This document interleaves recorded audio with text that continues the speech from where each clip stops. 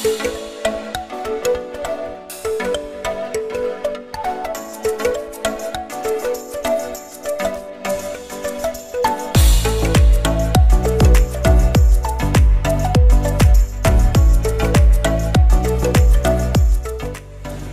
guys! This is Mai and welcome to My Goodness.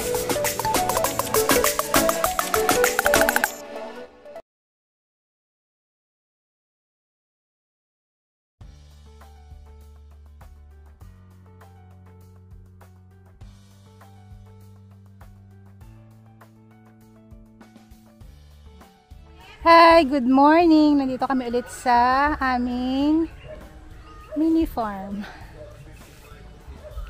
Ah, ang ganda ng panahon. Makulimlim. Punta muna tayo kay Isa. Kasi check natin yung tinanim na mga mani at saka mga kamote. Tingnan natin.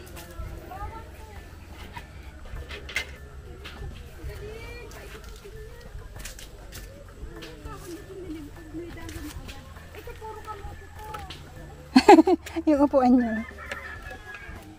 Ano to, sis? Mani. Ay, ay, ba't may ganyan? Ang bilis naman. Hindi nga sila sabay-sabay tumubo. Oh. Siguro depende sa ano. Ito, mani, oh. Dami na tumubo na siya. Yee. Cute. Ito kasi nandito yung ano niya, ilog. Mahina ang tubig ngayon dahil hindi umuulan. Tag-init. So, dapat dun ka banda sa dulo dun para malakas yung tubig. Pero pag maulan, ang lakas ng tubig dito hanggang dito.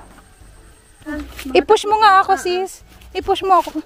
Baka ako yung mapos naman doon masira yung bako. Wait lang. Wait lang. wait. Ayan na nga, sinasabi ko. Huwag ka na kasi kumakyat dyan. Magagasgasan ka eh. Dito ka dumaan. Buti hindi nawarak yung short ko. Buti ka mo hindi nakaon yung camera ko. Visit kayo. Isa pa nga din, magdilig ako doon banda din. Oh, dandahan lang na. Ang dami palang pinya dito. Okay lang ba si, ano, menshi na ganyan dikit-dikit? Oo, mas maganda yan pagka dikit-dikit. Sasabol ko lang to. Eh, kala ko ba may kamote dyan? Mm Ililipat naman natin itong papaya. Yung nilinis nila, oh. Nilinis na siya.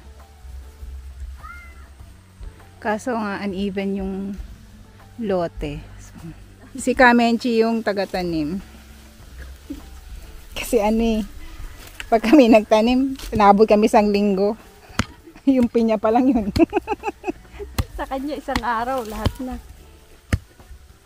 ah, ano to, Menchi? Okay na to. Tutubo to mga to. Tubo na nga siya, oh, ayan. Diniligan kasi nila. Ah, may amasli na ba? Ang ano? Ay, oo, oo. May lumabas na. Bago pa lang yan. Bago ba lang yan? Sisipain kita. no ka nga. Sabi niya yung nga na may umusli. Nakakatanim pa nga. Eto ba yon yung bago? Ay, luma. Last time na ano. Oh, ayan oh. Wala pang umusli. Hindi, pero ano siya. Yung Hindi buhay. na siya nalanta. Ayan. Ah.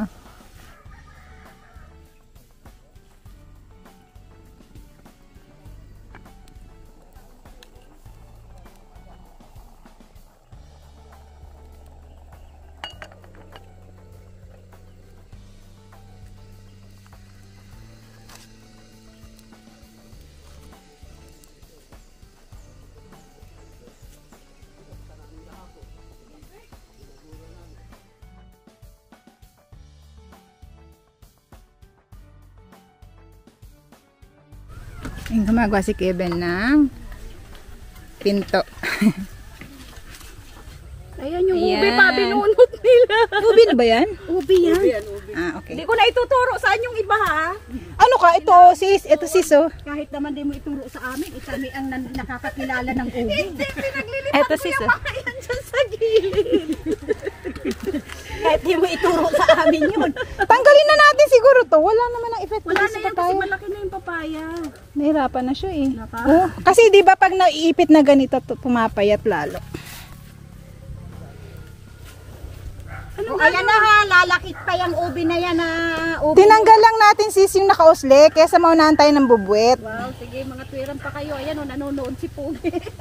Kuya, Kuya Pogi, ano, kakainin ng daga, kaya kami na lang kakain. Ilalok namin sa bilo-bilo ngayon. Ano ba? Hoy, alaya na naman siya. Hindi, kukunin din natin yung malaki. Ito naman, huwag ka mag-alala, tutubo pa yan. Malaki ka na ba? Hindi pa. Hindi pa. Kasi itinanim,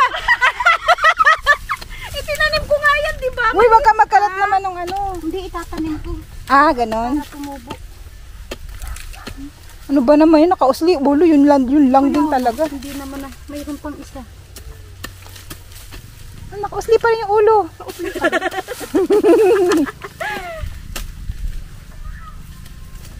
Kahit na hindi mo, ano yan yan? Yung diligan? Tutubo yan? Oh. Ah! Mo yun nakuha? Tama na to, dalawa lang. Ito naman, may kapalit naman akong tinatanim mo. Itong mga to. Maghukay na nga kayong lupa doon. Hindi ang ube yung Sis, pambilo-bilo natin to for today. Bilo-bilo lang gusto ko. Ayoko na. Hoy, sis, anong gagawin natin dito sa ube, ha, Halia? Hindi, mas mahirap gawin yun. Mm mahirap yun. Pa, oh, ayan o, nang hukay sila pa, oh. Ube na. Dalawa pa lang yan. Paano Oh, yun? na. Isang na. daan pa yung ube mo dyan. Talaga, nasa na ba itatanim ko? Itanim ko na nga para What? Tayo ng panggatong. Sayang eh. Nahalin? Ah? Bataw? Bataw sis? Talong ni Kuya Bento. oh. Ganda. Tsaka kamatis. Meron lang. Ay, ang ganda ng sili niya. Ito ba yung 2 years na, te? Oo, 2 years na yan. Oo. Tapos it... Tingnan mo, ang cute ng bunga nung isa. Nasaan? Ayun o. Yung isang papaya, ang cute ng bunga. Ayun. Ay! Sili. Ano ba ito? Yan yung magkakapal na malalaki ang bunga Parang niya. yung pahaba. Bakit ganyan ang itsura? Ngayon Ganyan ako talaga ang itsura niyan. Yung, naalala mo yung nagalit akong Lumaki pinutol na. ko yung papaya doon? Oo. Ganun yung kalalaki. Okay. Makapal yan. Tapos yung pinya ko guys, tingnan nyo. Umusli na, di ba? Dati wala pa yan. Cute. Malaki daw to eh.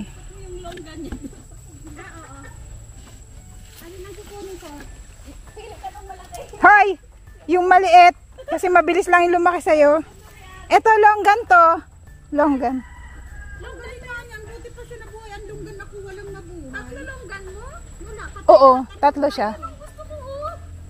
Aba! Huwag yan malaki na yan. Magaganda naman to sa'yo. Ito nga isalba mo. Yun, yan na lang kasi hindi siya ano sa Oo. yan.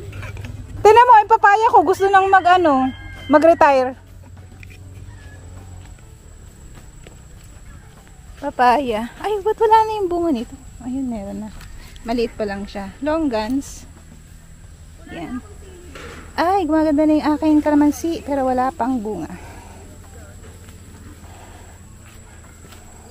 Yung mga kamote ko. Mag-uslian na.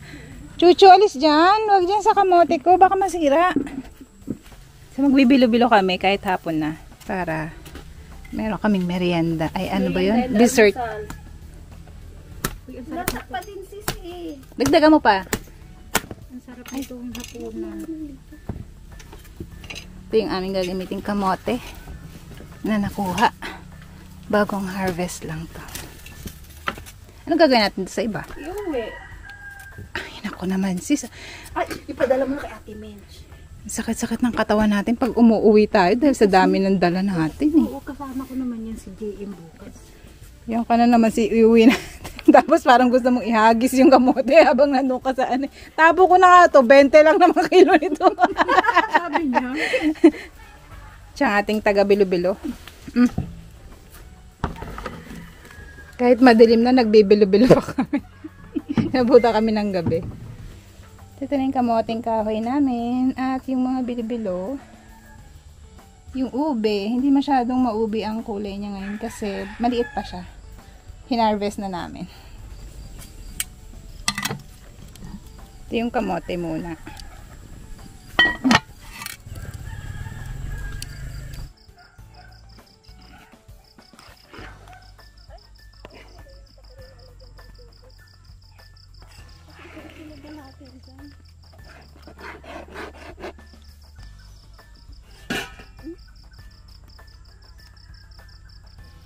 Pupunta kami sa lote ni ng isang friend namin dito, si May. Tabo pala natin. Ay!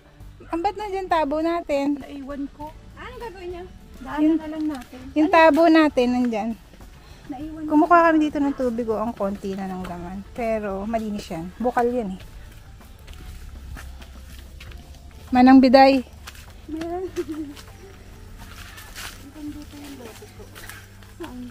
Wala tayong dalang ano? Bandito. Ah, okay. Dito yung taniman ng talong ni Ate Day. Ito yung inuuwi ko sa bahay na talong. Dito galing. Ang daming kamyas pala oh. Sa dulo. Hoy! Hoy! Hoy! Ayan na! Mamaya! Mamaya! Tama na! Tama na. Akala ko ba ang pupulutin yung nalaglag? Yung nalaglag nga. Nga? Yung nalaglag nga. Akin na, pulutin ko. Kasi bago pa naman yan. May kama na ang lola mo oh. Nakapagbitbit sila ng kama. Dati may tubig dyan sis eh. Paikot yan. Naga. Ayan, yung ilog yan eh. Pa-U-turn. Tanglad. Ito, pantatanim ba natin to iuuwi? Itatanim yan. Wala tayong tanglad. Karaminin muna natin. Ah, sige. Kamyas. Aling kami dun sa baba. Ayun oh. Ang ganda lang. Ang ganda dito, oh. Ang gandang magkapit. Peda! Pinapalaman mo ba yung kamote mo? Wala na kaming talbos doon sa baba eh. Ayun, dami lang ka. Kailan tayo magulay? Pagbalik na naman natin. Balik si Ate Ada. Ay. Ate Day. Ate Day! Sorry naman. Peda, dito na kami. Ay, Kuya Ada! Yung itlog mo, nandito Ayaw mo naman. Dosin tre ang binabaan sa akin. Tinira ko yung dalawa sa inyo. Ano? Dami. Ang dami naman ng bata. Di ba, Menchi? Ang dami na nga inuwi ni Ate Day na ano. Tapos ang dami pa din. Yung iba madali, parang maano na nga eh. Malapit na siyang mag tumigas pag di pa nakuha. Magulang. Yung iba pwede pa sa Sabado. Fresh.